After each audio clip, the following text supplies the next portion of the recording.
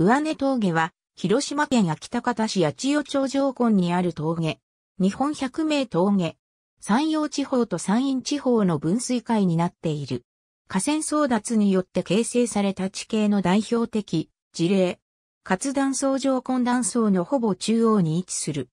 旧峠道が島根県道、広島県道5号、浜田八重壁線、現在は国道54号、国道183号上根バイパスがそれを担う。上根断層は秋田方市八千代町長谷から朝北区壁まで北東南西方向に約 16km の活断層である。活動度は B。断層に関する具体的な測定数値データはない。上根断層の南西に約 9km 離れて、恋断層さらにそこから約 6km 離れて五日市断層がある。岩国上根断層系としてグループ化されているが、上根断層が長さ 20km 以下で詳細研究が行われていないことから岩国五日市断層帯としては評価対象外となっている。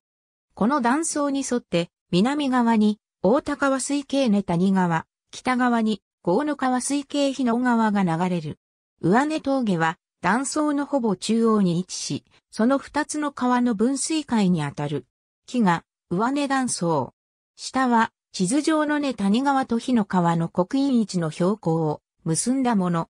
上根峠は50万年前から100万年前に根谷川が火の川上流域を河川争奪したことで形成された。河野川は中国地方の一級河川としては唯一の先行河川であり、中国山地が形成される以前にその流路が形成された。その支流の一つである、火の川の元々の源流点は、白木山にあり、上根峠から南西約 1.1km にあり、白木山から流下する現在の根谷川支流の入港川はかつて火の川の本流であった。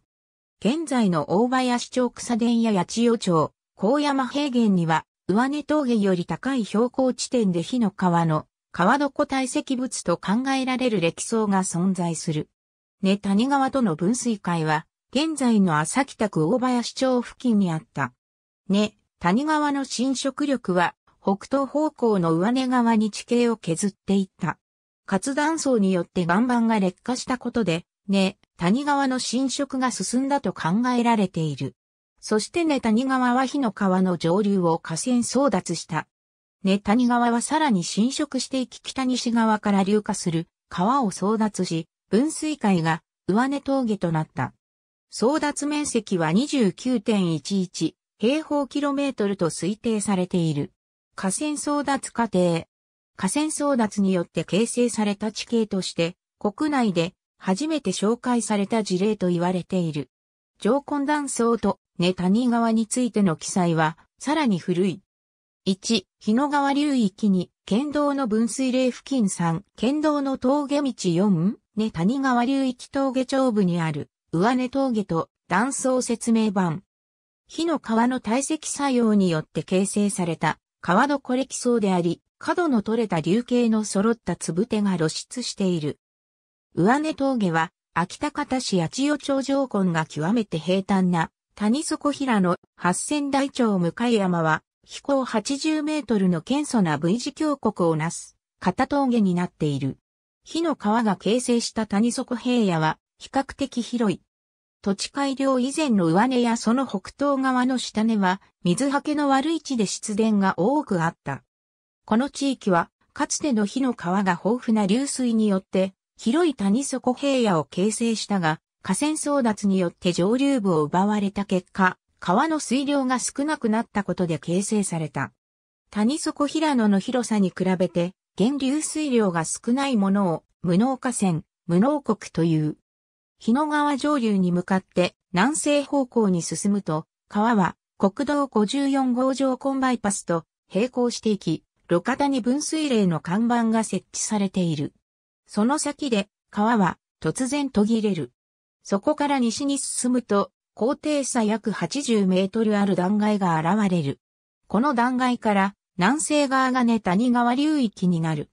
根谷川の上流は北西方向の根の谷にあり、これに沿って約 2km ある県道5号の峠道が通る。根谷川はこの断崖付近でほぼ直角に折れ曲がる。その地点で南東方向の無節国からマリー川が合流し、根谷川とで T 字型を形成する。無節国には350メートルほどの遊歩道がある。また、根の谷、キリキレ谷には魚切れ滝など滝が多くある。合流点より、下流の根谷川流域の谷底平野は狭く、峡谷の中を南西方向に、ほぼ直線的に流下する。北東側の中国山地からこの付近では、夏から秋にかけて濃い霧が発生するが、この峠を越えて南西側の広島市方面へ向かうと消える。無節国の名はここから来ている。地質は20万分の1地質図によると、峠頂部つまり上根が、転移段丘体積物、そこから北東の日野川流域が体積岩類。峠より南西側の根谷川流域つまり向かい山は大部分が広島型花高岩。上根バイパスは国道54号の難所だった上根峠をトンネルで通過するために建設されたバイパス道路である。峠の南西側の急勾配は、豪雨時や冬季の積雪、凍結による規制が多く、山陽と山陰を結ぶ交通路のボトルネックになっていた。このため、昭和47年に総事業費158億円を計上して、旧峠道の東の山腹をうがち、トンネルと橋梁で短絡する4車線道路のバイパス建設が決まった。予定では、昭和58年に4車線のうち2車線部分が開通する見込みだったが、平成2年に全通した。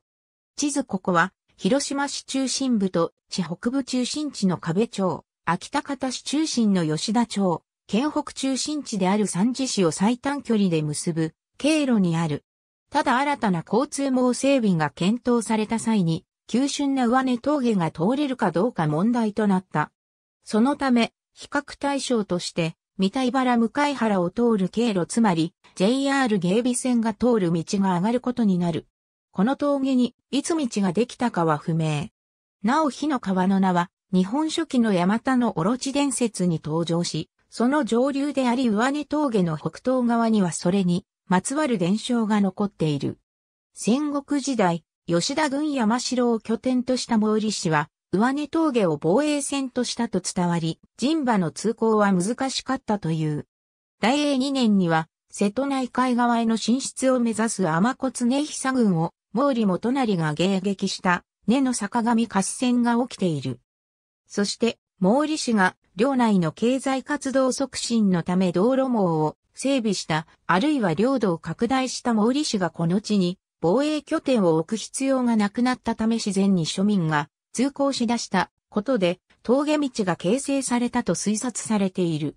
安土桃山時代、毛利氏は広島城に拠点を移すが、その時の移動や物資運搬は吉田道が用いられた。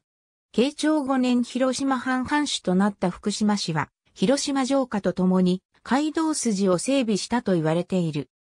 その次に入法した浅野氏がそれを引き継ぎ、幕府による諸国巡検士派遣が決まったのを機に、藩は街道網を本格的に整備し、この道は道路幅7尺とし、寛永10年脇街道、雲石街道として正式に行動指定した。県道沿いにある馬頭観音堂。江戸中期、神馬往来の安全祈願に建立されたと推定されている。信仰も厚く、かつては祭りも行われていた。県道工事によって二度移転、昭和初期に現在地へ、無節国有歩道入り口。下村彦市は、旧県道が整備される前から本道として用いられていたと推察している。旧県道の石畳と中村県吉の可否。右側が旧県道で当時 1km に及ぶ敷石の道は、ここと箱根峠だけだったという。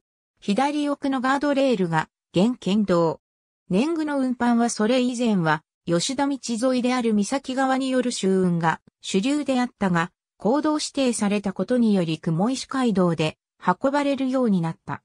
藩内の商業活動の発展に伴い街道は、人や物流の往来が活発になった。ただこの峠道は街道屈指の難所であった。原版通史には、坂あり、上り八丁圏なりと記されているイコール約873メートル。また孫歌も残っている。馬鴨の言うた上根の坂で登り縮めて、折り延べ、孫歌の一節、藩は街道の難所を改良工事しているが、この峠では行われなかった。幕末になると、荷車が普及したことにより、近代に入ると車利用を前提とした物資輸送のために近代的な道路改修が考えられるようになった。またこの道に関しては、広島と松江を結ぶ軍用道路として考えられており、山陰側で士族反乱が起きた時に、広島鎮大から軍を派遣し鎮圧するのが狙いであったという。明治17年、上根峠での振動工事が始まる。広島、松江線において最大の難工事となったが、もしダメなら吉田道の方になり壁町や吉田町の中心部を通過しなくなって大打撃を受けるとして峠の工事には両町も応援したという。そして明治23年完成した。明治26年県道となり路面の敷石工事が始まり明治35年完成した。これが現在の旧県道にあたり福音3.6メートル、屈曲37箇所、高低差66メートルあった。新しい峠道ができた明治後期から大正初期にかけて峠の頂上である上根市は栄えた。車夫や孫が大勢集まり、旅館や飲食店が道沿いに軒を連ねた。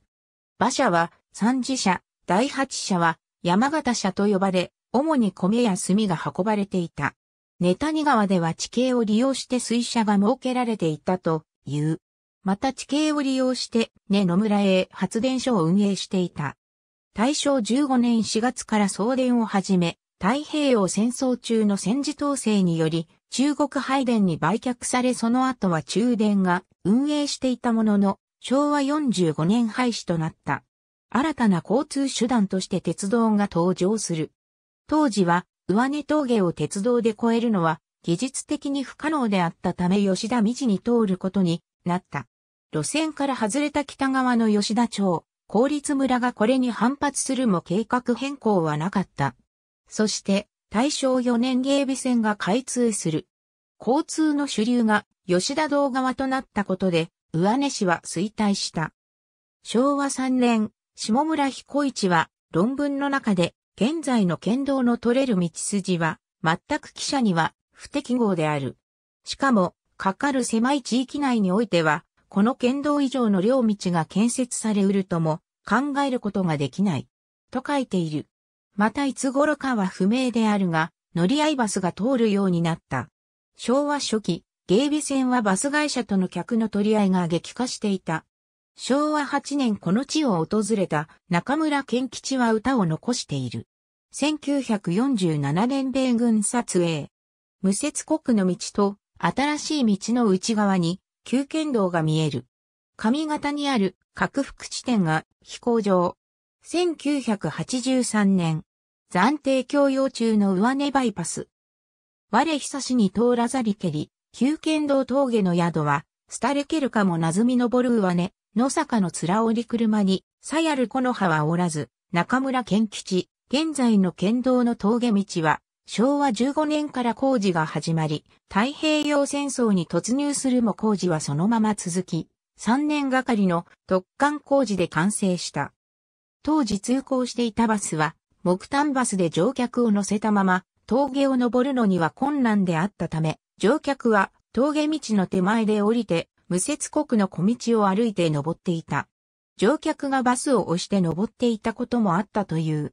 また、大戦末期には現在の八千大町下根と笹井あたりに飛行場が作られた。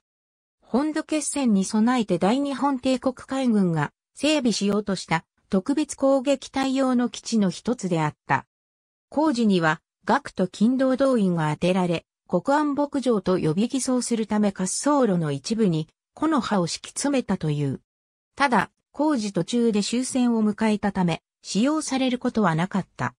この峠道の県道が昭和28年国道に昇格し全面舗装された。そして交通渋滞及び交通の難所解消のために、上根バイパスと壁バイパスが計画された。上根バイパスは昭和49年着工、昭和52年上根地区 1.9km が完成し一部供用開始した。昭和59年全線開通の予定であったが、トンネルの工期が伸びたことと国の緊縮財政の影響もあって工事自体が遅れ、平成2年全線開通した。これによって峠道が国道指定から外され、現在の県道となった。なおこの南西側が2014年広島土砂災害の被災地である。上根断層に関するカテゴリー、上根バイパスに関するカテゴリ。ありがとうございます。